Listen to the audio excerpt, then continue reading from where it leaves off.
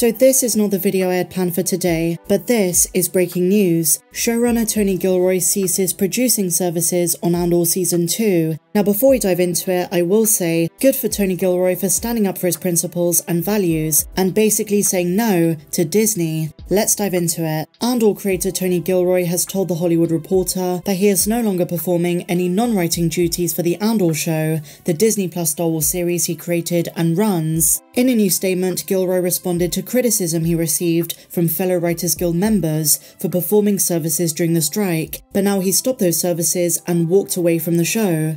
The critique of the creator and executive producer came after it was reported on Friday that Gilroy, whose scripts were done for season 2, was still contributing to the producing process, and this was regarding casting and music related duties. Gilroy now says he was not present on the show set, and he hasn't been since the strike began on May the 2nd. Here is the quote I discontinued all writing and writing related work on Andor prior to midnight May the 1st. After being briefed on the Saturday showrunner meeting, I informed the WGA I would also be ceasing all non-writing producing functions, and the Hollywood reporters say Lucasfilm declined to comment. One of those who originally criticised Tony Gilroy was Abdullah Saeed, whose credits include creating the Onyx collective comedy Deli Boys. In an Instagram post a couple of days ago, he described Gilroy as a scab, insisting Tony Gilroy stands with other writers, and now he's done that. On Friday afternoon, and I reported on this at the time, studios, including Disney, send letters to showrunners demanding they continue their work, in particular the non-writing contractually obligated services, amid the strike. The WGA called the studio's request union busting tactics, something Gilroy says he was never part of, so he's now stepped away. So what does this mean for Andor? Well, honestly, no one knows. They might be insisting that production's going to continue with the other producers, but as the HR say, writing is never complete. Despite the fact Tony Gilroy says everything was done, the writing process never ends. It looks as though production might be halted altogether, or if it continues, it's going to be without him. Is that good for the show? Things don't look too good on that front, but as I say, it's a good thing Gilroy is showing solidarity. But we do have some good news for the show. A few weeks ago, I reported that Andor Season 1 was being nominated for the prestigious Peabody Awards, and guess what? It won! An enormous win for Star Wars. They say the prestigious Peabody Award is rarely given for space opera and sci-fi. The organisation specifies on their website they honour excellence in storytelling that reflects the social issues of the day. Andor Season 1 did that spectacularly. I've said this before and I'll say it again, it's gonna age very well. As for Andor specifically, the Peabody Awards note, very few other long-running franchises loom as large in today's contemporary pop cultural imagination than Star Wars. They say with its many trilogies, spin-offs, and TV series, George Lucas's original creation back in 1977 can feel like a ubiquitous force as all-encompassing as its fictional and much reviled empire. Yet amid stories of destiny-driven heroes and doomed superpowered villains, Tony Gilroy's Andor tackles that familiar galaxy with an eye not just for spectacle, but for a keen-eyed commitment to do what sci-fi and fantasy do best. Mirror our own mundane trials and tribulations back with enough remove that their lessons become unavoidable. And you know, it's nice they're acknowledging George Lucas, even though his vision is not part of these stories anymore, at a time where it feels like Disney's Star Wars to a large extent has deviated from his original vision. But a lot of fans feel as though Andor was the exception. And here's the most accurate bit, painting a portrait of how revolutions are built on their own recurring failure, of how hope can and needs to spring eternal in the face of authoritarianism run amok very relevant to our current day. So well deserved congratulations to everyone on that show. And this brings me on to our next subject.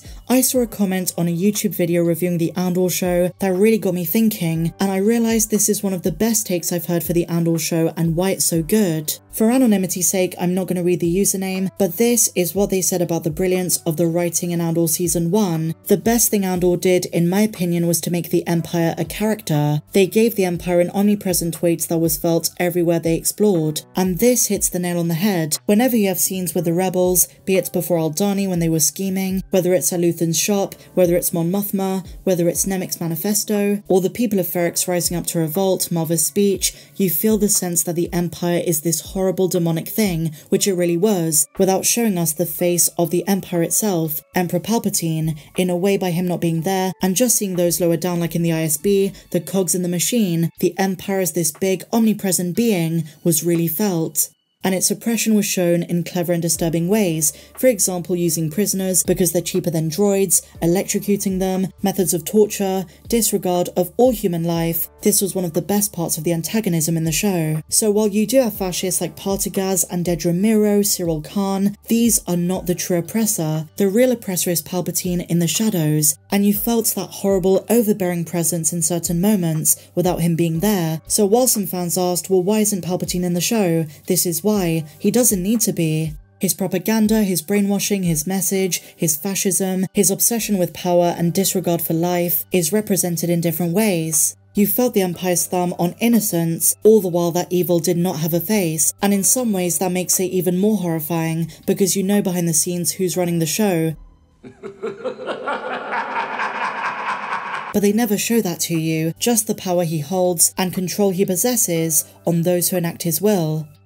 In other Star Wars news, Tony Gilroy is adamant Rogue One does not have a director's cut. As you're aware, the film had a troubled production history, but Gilroy is saying there were no alternate cuts. Now on my channel, if you've been watching for a long time, then you know I've covered multiple things that were not included in Rogue One. Concepts from the original script, for example Jyn Erso surviving the ending. There were other things too, but Tony's saying they didn't film them, there are no alternate scenes. His reaction was, oh my god, no no, when speaking to The Hollywood Reporter. He went on to say, the more authority that you hear people talk about online about what happens on that movie, the less they know. On the subject of rumours of what happened behind the scenes, he said maybe someday they'll be revealed, but he reiterates, there is no so-called director's cut. Directed by Gareth Edwards, the original script was by Chris Weitz, but it underwent five weeks of reshoots. After its initial production wrapped in 2016, Gilroy was brought on for rewrites, earning him a co-writer credit, and to oversee some scenes as a second unit director.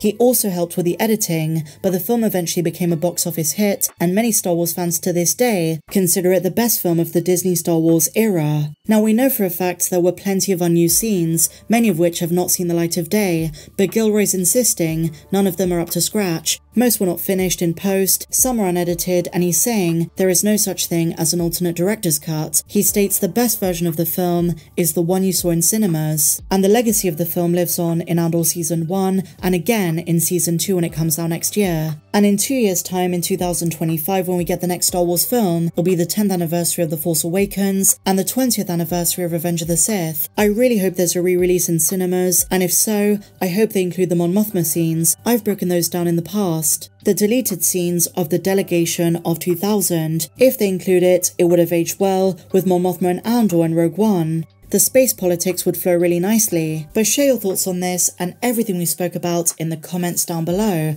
If you enjoyed this video, please be sure to give me a big fat thumbs up, subscribe if you're new, and I'll see you in the next one. May the force be with you always.